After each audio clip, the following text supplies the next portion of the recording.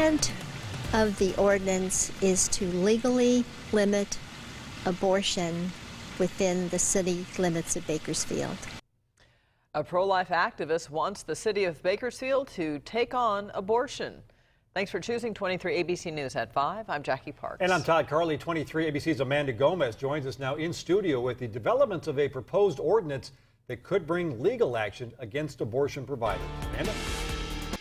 Bakersfield City Attorney Ginny Gennaro says the law would regulate abortion, but wouldn't regulate would regulate abortion, but it can be interpreted in several ways, and that's the problem. A woman's right to have an abortion was affirmed 40 years ago in the landmark Supreme Court case Roe v. Wade. But the debate has raged ever since. Tim Palmquist, a longtime local pro life supporter, drafted a Bakersfield ordinance that he says does not ban abortions, but allows someone to sue a person who has an abortion and or an abortion provider. That idea is supported by City Councilwoman Jacquie Sullivan.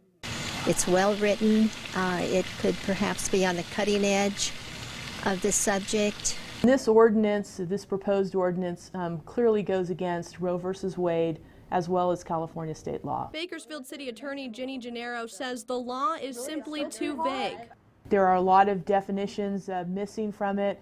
I certainly think that an individual could interpret the ordinance as also banning abortions. And a city council committee decided to table the issue after hearing this piece of advice from Gennaro. The proposed ordinance is unconstitutional and that if the city passes this ordinance, uh, we are exposing our taxpayers to litigation. As far as being unconstitutional, um, what we would like to do and what we will end up doing may be two different things.